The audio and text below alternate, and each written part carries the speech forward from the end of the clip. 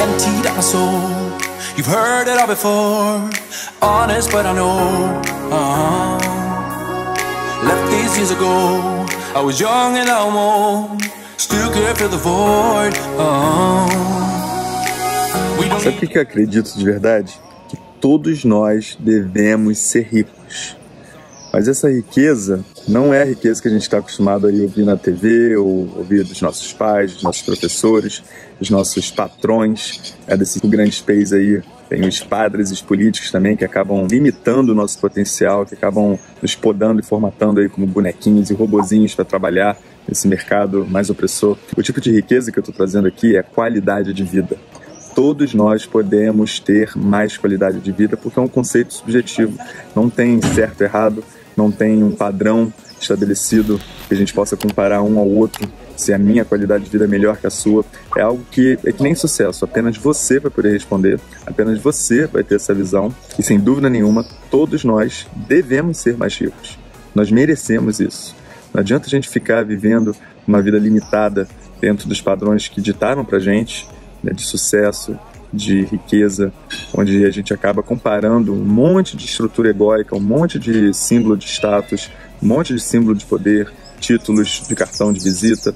Isso tudo acaba só nos prendendo cada vez mais, nos aprisionando numa grande prisão onde a gente fica sempre comparando a nossa grama com a do vizinho e achando que a nossa grama está menos verde. Quando a gente vive uma riqueza que é baseada no dinheiro, a gente acaba sempre postergando a nossa felicidade para quando a gente tiver mais dinheiro, para a gente completar um milhão. Quando tiver um milhão, agora nós somos felizes apenas quando tivermos 10 milhões. Quando tivermos 10 milhões, seremos felizes apenas quando tivermos os 100 milhões. E a história é infinita, porque isso daí não tem limite. Você nunca estará satisfeito com aquilo que realmente vai te completar espiritualmente, completar de maneira mais intrínseca, que são aquelas questões relacionadas aos seus valores. Então, o primeiro ponto é ter clareza dos seus valores para saber aquilo que realmente vai conectar com a sua essência, aquilo que vai te alimentar por completo.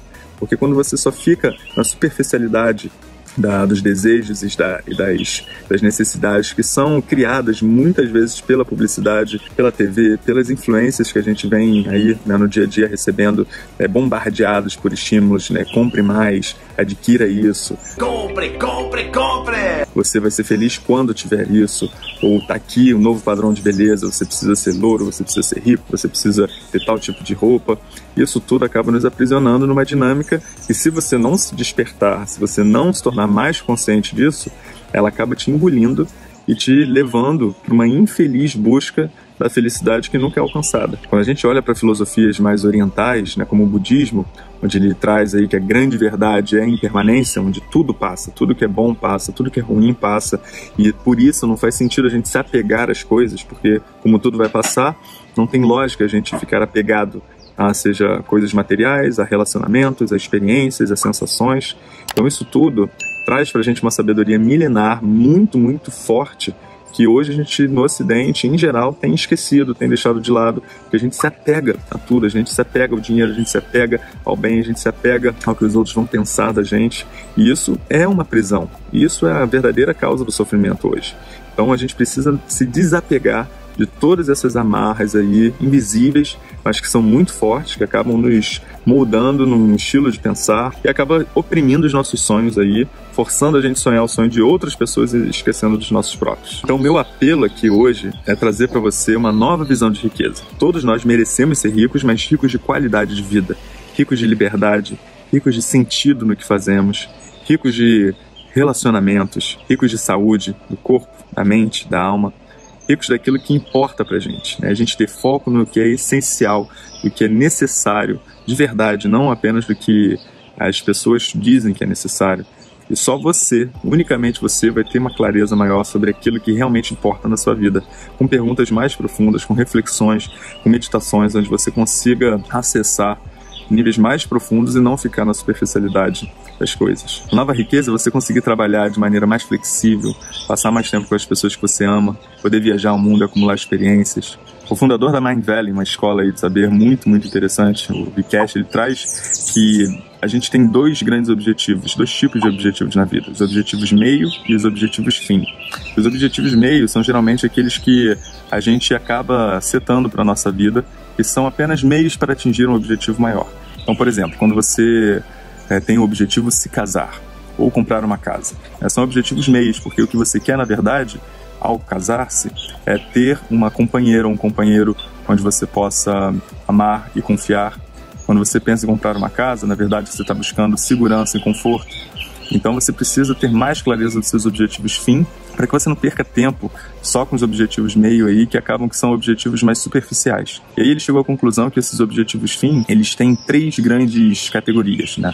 São os objetivos que te fazem crescer como ser humano, são objetivos que te fazem acumular experiências de vida e são os objetivos que te fazem é, ter um impacto, uma contribuição positiva para o mundo. Foque nessas áreas para você buscar uma maior qualidade de vida, porque sem dúvida nenhuma, você trabalhando bem essas áreas, você vai ter uma maior satisfação na sua vida como um todo e assim vai ficar muito mais fácil você ir trabalhando as outras áreas relacionadas aos seus valores e aquilo que realmente vai fazer a diferença na sua vida. Sua vida na internet pode ser muito mais fácil, você pode focar apenas no essencial, com negócio online minimalista, um Nomi, e parar de depender dessas fórmulas dos gurus aí, essas fórmulas complexas, cheias de obrigação, onde você no final do dia se estressa, tem burnout, sofre mais do que você sofria lá na CLT, só porque você seguiu uma fórmula de um guru do milhão aí que te disse que ia ser tudo muito simples, muito fácil, que você ia ganhar vários dígitos de uma semana para outra, mas você sabe que na verdade não é assim. Então, se você quiser conhecer um caminho pé no chão, um caminho verdadeiro para você, através das suas habilidades, das suas experiências acumuladas aí ao longo dos últimos anos,